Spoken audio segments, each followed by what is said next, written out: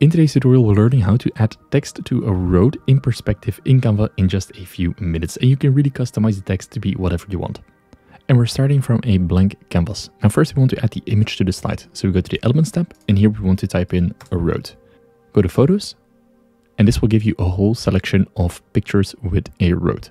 If you want a specific road, you can narrow down the search, but I think we'll find a good one here.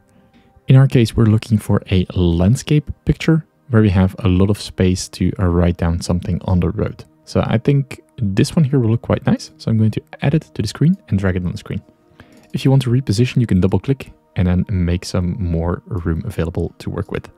Next, we want to add our text to the slide. But we're not just going to add a text box, we're going to look for an app. In the app section, you can type in type, and this will give you a whole list of options. We're looking for this Typecraft, so click that one and it will install on the left. Now here at the top, we can type in our word. So we're going to add your text here. Let's type the first word, your. I'm going to do it all caps. And for the font, I'm going to go for Action 123. Click on the back arrow. And now we're going to change the color to white because we want white text on the image. And then scroll down and here you will find a preview of what the text looks like. Now we want to resemble the road, so we want to put some perspective on the image which means we're going to drag the top corners of the word inwards and also that middle part.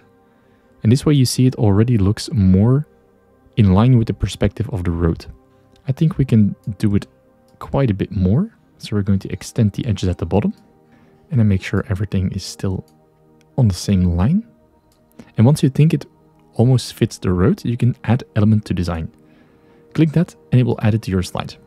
Now here we can see if we scale it up or down. Let's put that one right around here. It already matches quite nicely. It's not perfect, so we can do some final tweaking. I'm going to position the bottom parts so they are correct. So the bottom left and bottom right, they're correct right now. But the top parts, I think we go a little bit too much inward. So select the element. And now I'm going to... This one is the handle, so we want to keep that on the same line. I'm going to drag the outer corner a little bit to the side.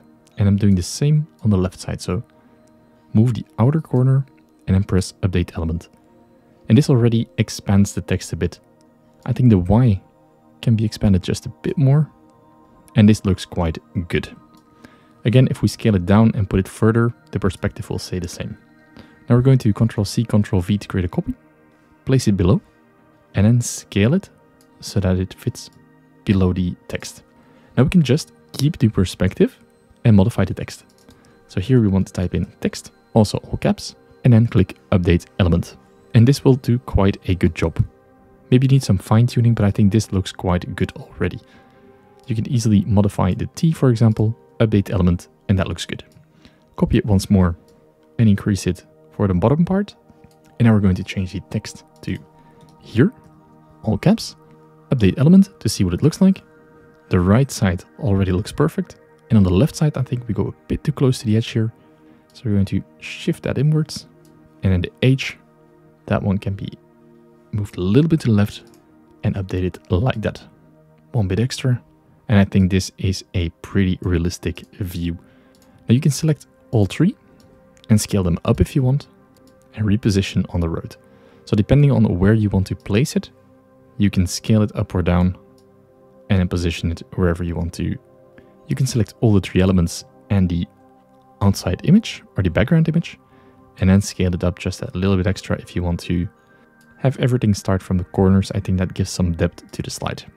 Now this already looks quite good, but if you want to make it more realistic, we can do that little extra touch. And for that, we're going to the Elements tab.